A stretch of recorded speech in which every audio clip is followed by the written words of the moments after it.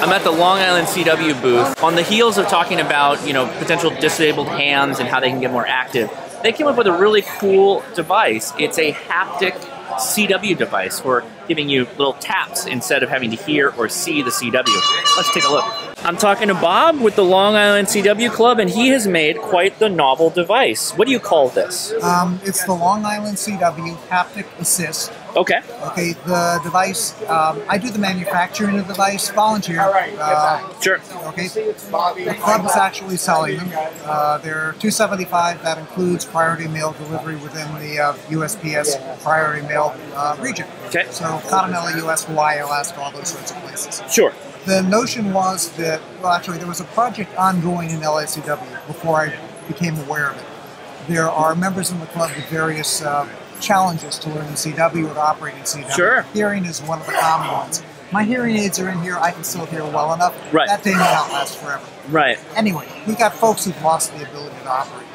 Okay. Yeah. And the notion was, look, let's build some sort of a haptic assist device, give them an aid that will get them back on the air or make it possible for them to stay on it. the air or learn CW in the first place. I love it. Yeah. That was the motivation. Um, I heard about the project, I came in, and I sort of ran with it. Uh, It sounds like it because here we have. so here we have The the, unit. assist device.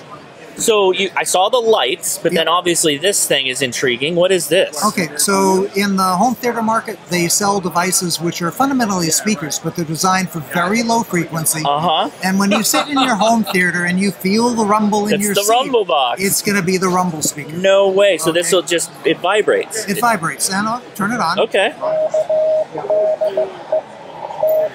There are a couple of controls over here, which are the frequency and intensity of the vibration.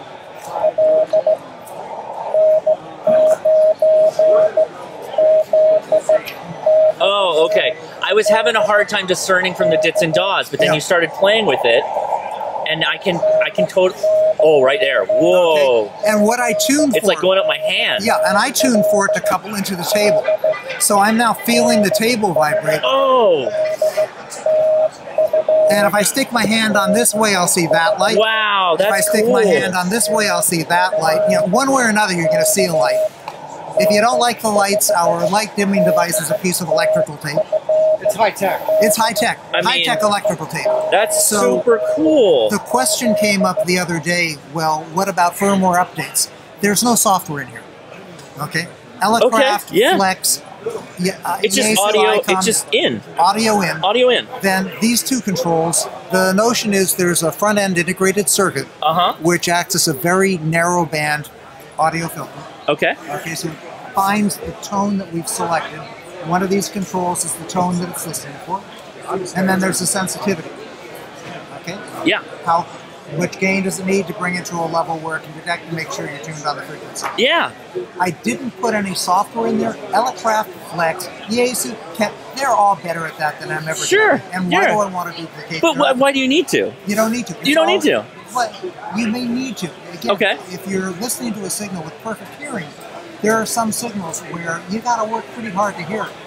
Especially when I was learning to copy CW, Sure. I used Okay. the radio's filters to, you know, peak it. Oh, almost like you're talking about DSP Yes. for a haptic system. And if you need the DSP, this can't hear any better. Well, actually, I can hear a lot better than this can. My ear has become a much more effective CW filter. I can ignore a lot of that noise and get the signal that I Oh, want. I see. So you're almost you're almost dictated on how well your filtering is and your oh, my rejection on your radio. I've got a Your of- ear. I've got but this of brain wear. right, right, right, This device doesn't have the brain wear, so I rely on the radio. So that front tighter filter. filtering, Tighter filter, rejection aside. band, Yes. all those things. Okay. Okay, this is just hardware, Just hardware. no firmware updates. Yeah. But again, it's a good filter, Yeah. right? And then the radio helps. I love that. Other things you can do with it. Um, this has the notion of being tuned to a frequency. Okay, when I key my radio, it's set for a particular tone, 450 hertz for my side tone. Mm-hmm. I can key, not transmit, but key, get a tone, tune this to the 450 hertz. Then when I'm tuning across the band, I Oh. can zero beat somebody, tune them to the 450 Right. big knob, With the big and knob. now I'm zero beat on them. so a you can use that to zero beat. to zero beat. Wow. And once you zero beat, then you can use it to copy. Wow. Okay. Yeah, I can. it's a different mind. You gotta. You have to. It's a tool. Like it's a. It's a sense. Um, what am I thinking of? It's like an instrument that you have to tune up. You gotta learn. Right. And there is a learning curve. When I was playing with it initially, as I said, my hearing still works pretty damn well. Right. Okay, I'm sorry. What? It works, pretty damn well. I love my new hearing aids. Yeah. But I basically gave myself the challenge of copying just just the code, Uh-huh. without the audio, just the vibration, Okay. or just the light. Okay. And I found that with some practice, I could, using material where I knew what was coming along, um, I could, I think that was a B and I can be able to confirm it. Mhm. So I found with the LEDs alone, I got about that much comprehension. Like, you know, 30, 40%, somewhere. Yeah. With the haptic alone, it brought it up to about there. And with the haptic and LEDs, I got You got. You fleshed it out. Yeah. So we've got some people who are deeply impaired for their hearing. Yeah. We've got an operator who used to be a retired policeman. He's a retired policeman now. He used to operate in his patrol car. This guy was on the air all the time. Yeah. And very, very good. Yeah. He can't operate anymore. This has got him back on the air. Wow. We've got another operator where this is an assist. She can work without it. Uh huh. It makes it easier.